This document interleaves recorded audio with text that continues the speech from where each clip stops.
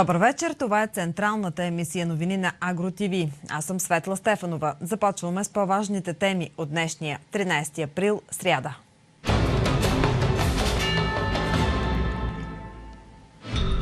Нова агенция ще сертифицира средствата от европейските земеделски фондове. Какви са основните проблеми при категоризацията на фермите? Себестойността на зърното може да се увеличи заради риска от кризи на пазара и природни бедствия. Консултативният съвет по животновътството в област Хасково ще проведе извънредно спешно заседание в петък от 11 часа във връзка с съмненията за наличие на заразен модуларен дерматит в две говедовъдни ферми в Хасковска област. Към момента все още болестта не е потвърдена. Качеството на млякото зависи от изпълнението на изискванията на Агенцията по храните за категоризирането на фермите. По този повод в град Раковски се проведе разяснителен семинар, организиран от Националния съюз на говедовъдите в България. Подробностите в следващото видео. Основен проблем при категоризацията на фермите е неизследването на животните и скритите болести, които се отразяват на качеството на млякото. Където не се постигнати изискванията, т.е. нямаме на 100% изследване животни, просто процедурата се прекратява. Други фактори за влушеното качество на млякото са неспазването на основни хигиенни норми при доенето на животните и непопълването на ежедневната документация, за да се проследи къде отива заразеното или негодно мляко, добито от болни животни. Според доктор Бенков, друга основна грешка се среща при маркирането на животните. Защото животно се идентифицира там, където е родено, в фермата за да му се знае майката, за да му се издаде, издаде паспорт и така нататък. Другите марки, които вие поръчвате в повече, са за нещо недобросъвестно. И аз ще ви кажа какво е. Да се смените на вашите си животни. Махате марката, слагате другата и става мазало от всякъде. Провеждането на разяснителния семинар беше провокирано от кризата в сектор мляко. Фермерите имат право да знаят каква е технологията на взимане на проби, заяви пред камерата на Агротиви Рангел Матански. Каква е реакцията на земеделските стопани във връзка с засиления контрол, който Агенцията по безопасност на храните и нейните регионални звена в страната упражняват? Години наред на българските говедовъди им беше казано, че млякото е отговарящо, че млякото е добро за преработка и в един момент така, как да кажа, изненада, с изненада много от колегите установиха, че не е точно така. И в общи линии това е нашата цел да направим разяснение, за да може хората да знаят какво и как се случва и какви ще бъдат последствията за тях. Нова агенция ще сертифицира средствата от европейските земеделски фондове, реши правителството на заседание на Министерския съвет. Структурата ще е под шапката на агроведомството и ще има ангажимент да следи плащанията от Европейския съюз, както и да извършва одит на финансовите отчети и изградената система за контрол в разплащателната агенция у нас. Изпълнителният директор ще се назначава от министъра на земеделието и храните и ще е съгласуван с министър-председателя. Коментар по темата от Светлана Боянова от Института за агростратегии и иновации в земеделието. Експертите в агенцията трябва да са на топ ниво, за да изпълни новата структура функциите си, категорична е Светлана Боянова. Много е важно как ще бъде разписано функционирането и кой, кой въобще ще се занимава с нея. Няма много хора за тази работа, искам да кажа. Експертите в тази дейност работят в големи сертифициращи компании, припомни Боянова. Те трябва да ходят и на място, трябва да правят административни проверки, трябва да преглеждат, примерно, директни плащания, платени, програми, проекти. А, това всичко трябва човек наистина, който разбира а, да го прави. И той трябва да е заплатен добре в тази държавна структура, за да може да бъде нали, абсолютно независима сертифицираща организация. Според нея до сегашната практика на провалени обществени поръчки при избор на сертифициращ орган е можело да бъде избегната при по-добро планиране. Още по темата, със създаването на новия орган ще се създаде устойчивост в процеса по прилагането на програмите и освояването на средствата по двата европейски земеделски фонда, заяви министрът на земеделието Десислава Танева. По думите и до два месеца ще бъде изградена цялата структура на агенцията.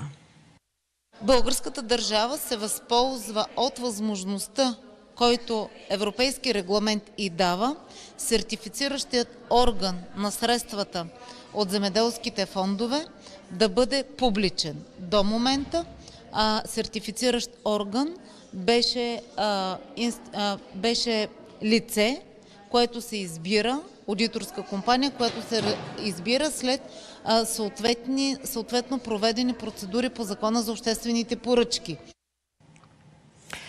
Дневните договори в агросектора ще се регистрират изцяло онлайн. Това стана ясно по време на заседание на Националния съвет за тристранно сътрудничество.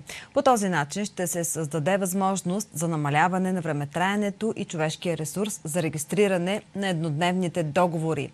От инспекцията по труда са разработили проект, финансиран от Оперативна програма Развитие на човешките ресурси за изграждане на специален информационен продукт. Проектът вече е одобрен от Комитета за наблюдение. Предстои подписването на договор. Електронна система, която ще отчита еднодневните трудови договори, съответно кога би трябвало да бъде готова тя?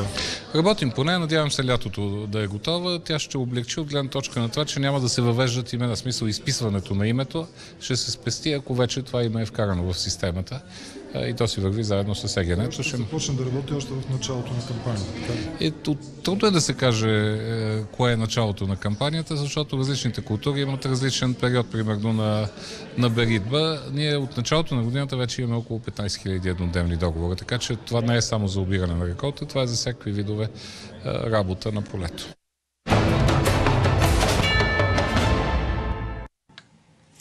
Към тема зърнопроизводство. Себестоиността на зърното може да се увеличи заради ниската световна цена на пазара и възможни природни бедствия. Това заяви пред Агротиви Мариела Йорданова, заместник-председател на Националната асоциация на зърнопроизводителите.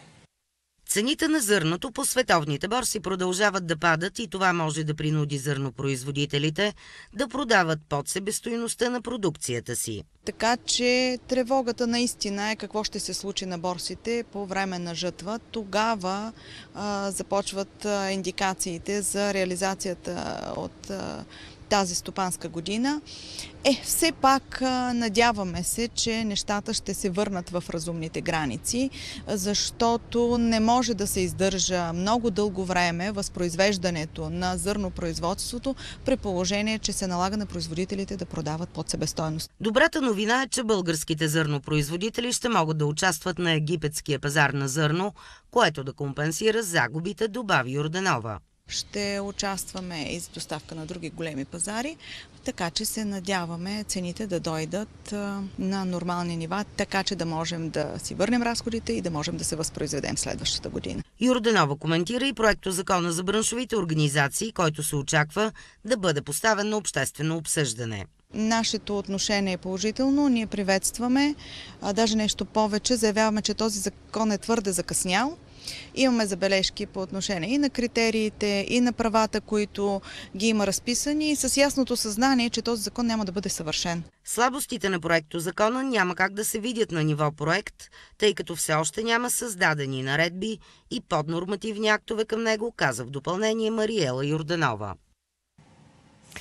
Емисията продължава с кадри от пролетната сейдба. В Добруджа тя вече е в разгара си. До момента са заложени близо 500 000 декара с царевица и слънчоглед в региона.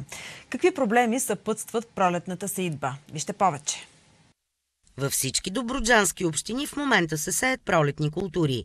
Обичайно площите с царевица и слънчоглед в Добричка област са по 750-800 хиляди декара. До момента има заложени по 220 хиляди декара от всяка от културите. Спазва ли се обаче технологията? Много зърнопроизводители минаха първо да сеят царевица, а след това започват да сеят слънчоглед. Това е разбираемо. Те се опитват в момента да хванат влагата, която я имат, защото царевицата изиска малко повече влага. Но пропускат един малък факт, че царицата е топлолюбиво растение. и че сланите обикновено в Добружа, последните слани са някъде около Георгиев За разлика от слънчогледа, царевицата при едно осланяване може доста да се прореди. А пък и самото, самия стрес от хлад води до снижаване на добивите. Ниските температури след сеидба ще удължат периода на поникване на царевицата и това може да доведе до редица проблеми като болести и неприятели. Имаме опасности от нападение от а, а, хуботници и от телени черви, ако вече имаме такъв каламитет. А той много скоро ще се появи поради забраната на третиране на семената с инсектициди по отношение на телените черви на хуботниците. А, просто и тук се наблюдава една грешка в технологията и тая грешка в технологията на отглеждане на зърнено-житните култури и на пролетните култури до голяма степен се дължи на факта, че научните звена нещо вече не работят както трябва. Научните институти бяха ангажирани през последните години със собственото си оцеляване. Кризисните условия доведоха до колапс и разрушиха връзката между наука и практика, допълни още професор Киряков. Сега към Южна България, земеделските стопани от Ямбулско продължават пролетната сейдба. Както и през миналата година, най-много са площите с маслодаен слънчоглед. В региона вече са засети над 110 000 декара с тази култура. Земеделските производители от региона се радват на сравнително добро време през април. Падналите валежи през последните дни не бяха съществени и не оказват особено влияние на кампанията на полето. Агроклиматичните условия са много благоприятни, що се отнася до пролетната сидба. И затова ние използваме всеки ден, за да можем да приключим сидбата на пролетниците до края на второто десетдневие на месеца, тъй като прогнозата е за по-обилни е, валежи през третото десетдневие.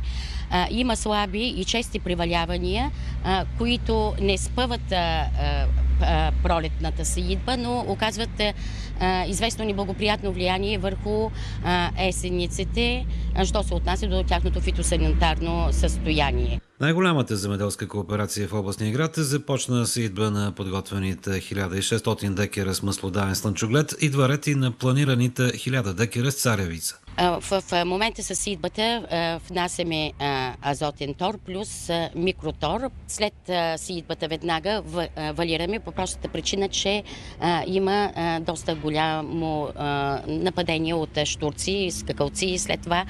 И затова това е една превентивна мярка. По време на вегетацията извеждаме борбата при слънчогледа и царевицата срещу плевелите. През миналата година много от масивите на кооперацията с есенници бяха засегнати от наводненията по поречието, но при пролетните култури резултатите бяха сравнително добри. Царевицата най-вече се име за силаш. Миналата година тя напровокира доста царевица бяхме заложили, но на площите, които са близо до река Тунжа, резултатите са добри. Успяхме да направим силажа. Но останалата площ, които бяха на черноземите, там се фанаха сушите и не можахме да... Не можа да се реализират царевица добре. Но на слънчогледа, на площите, където бяха под вода, там закъсняхме с сидбата и но до 300 кг хванахме сериен добив на слънчогледа. Според данните на областната дирекция земеделие, до момента в Ямбулско са засети 112 000 декера с маслодаен слънчоглед, 2200 декера с овес, над 1300 декера с пролетен чемик, те първа започва идбата на царевицата за силаш. Централните новини на Агро ТВ продължават. Остава да видите още.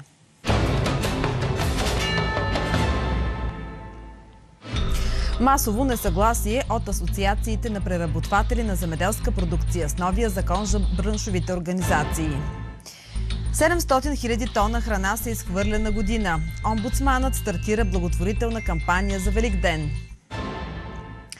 Културното ни наследство привлича все повече туристи и продължители на традицията. Сдружения определиха като противоконституционни текстове от проекта на закона за браншовите организации на земеделските производители и преработватели на земеделска продукция. Утре в Народното събрание предстои обществено обсъждане на текстовете. Какви са мотивите за недоволството? Десет браншови организации се обявиха срещу правото на свободно сдружаване в новия проект. В момента те се обединяват чрез закона за юридическите лица с нестопанска цел. Едната от темите на вносителите е да се определи законова рамка, която да регламентира работата на браншовите организации. Това е в грубо нарушение на закона за юридически лица с нестопанска цел, защото този закон казва, че издружаването е на доброволен принцип. Опитът друг закон да определя как да се издружават земеделски производители или преработватели е повече от смешен и антиконституционен. В земеделието трябва да има закон за браншовите организации, за да могат да стартират част от мерките по програмата за развитие на селските райони, убедена е Кокушева.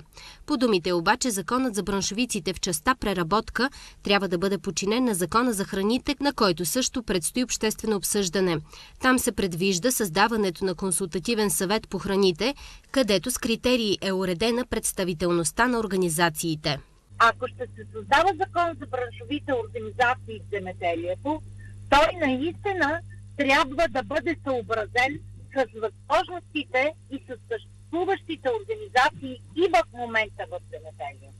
Според браншовиците, Министерството на земеделието и храните прави опит за вменяване на задължения на организациите да дават отчети и да упражняват административен контрол по отношение на своите членове. Не може да се налагат административен контрол по линия на браншовите организации, защото административният контрол е функция на държавата, а не на, на бранша. Очевидно е, че вносителите е, не знаят какви закони се предлагат в страната, защото в Народното събрание на първо четене са минали измененията и допълненията на Закона за юридически лица с нестопанска цел.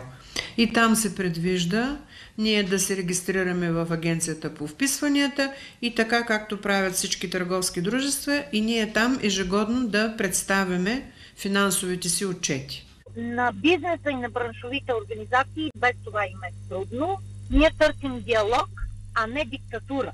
Браншовите организации изразиха позиция да отстояват своите искания на общественото обсъждане на проекто закона утре в Народното събрание.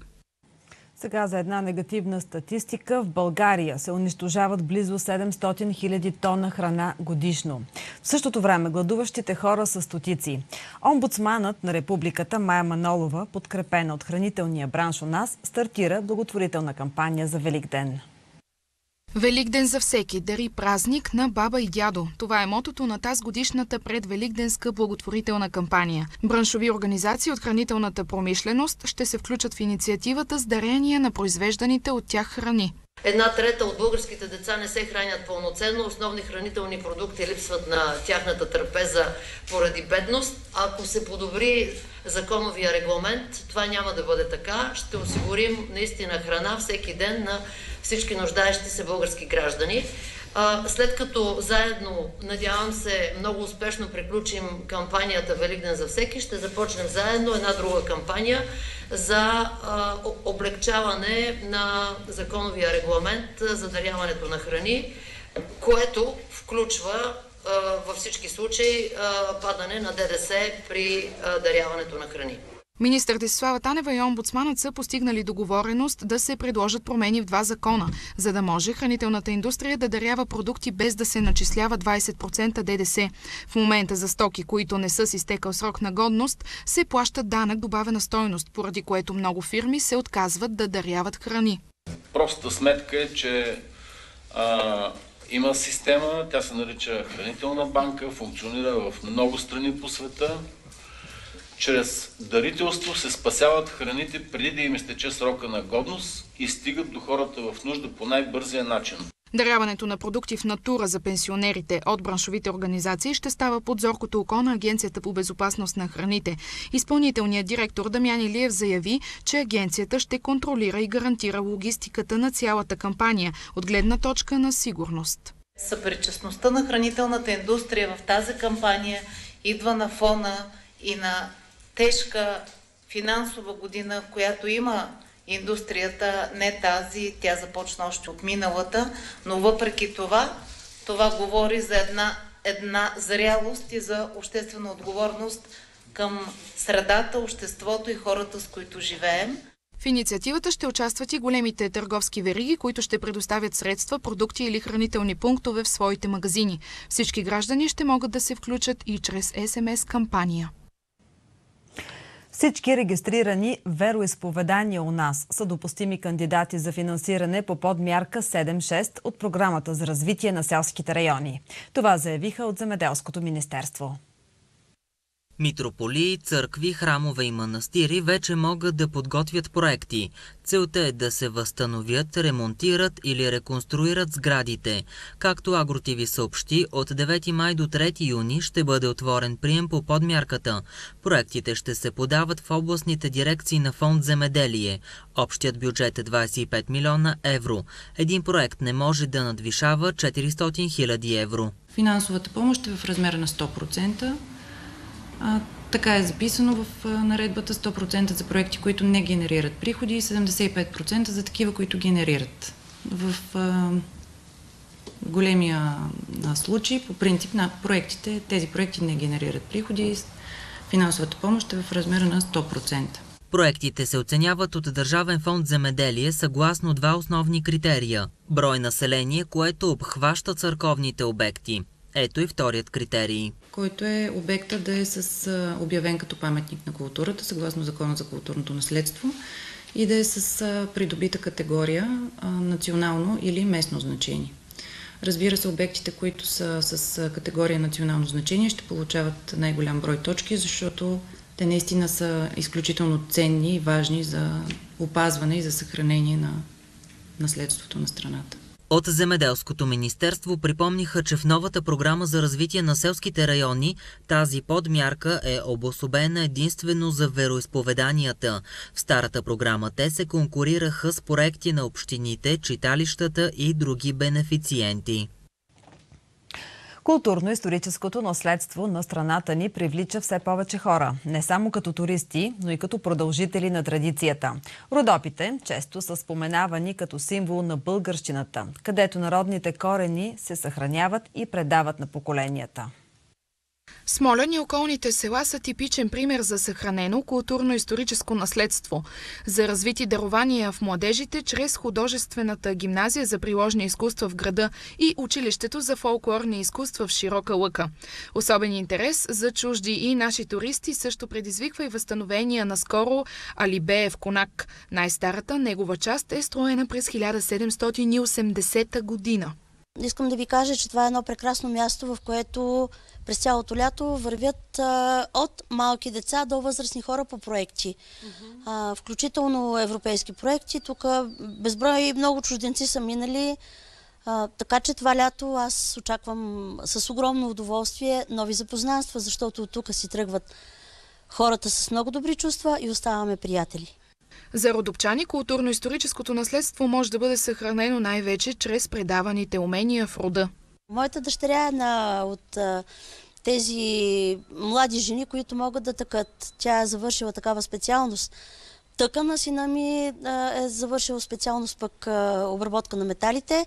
Моята баба беше изключителна такачка. Сега пък се радвам, че минава в ръцете на дъщеря ми този занаят. Дядо ми беше фунаджия, сина ми меси кал и така нататък, но те не са единствените. Аз имам усещането, че все повече млади хора се интересуват от това нещо и се увличат от това. Да се върнат назад към традицията, да разгадават традицията, за да могат и те да я предават. Всъщност това е България. АгроТВ в своите предавания търси и връзката на миналото с традиционния поминък и богатствата на българската земя и село. Културно-историческото наследство на община Смолен ще бъде обсъдено и тази неделя. В предаването Говори България с водещ Ваня Манолова. Гости са журналистът и водещ на новините Валери Станев, който е завършил Националната гимназия за приложни изкуства, както и Анастас Величков, председател на туристическо дружество и член на управителния съвет на Асоциацията на планинските водачи. Какво ще бъде времето утре? Ще научите веднага след емисията. Данаил Андреев ще ви представи борсовата информация. Късните новини започват в 22 часа и 30 минути. Хубава вечер!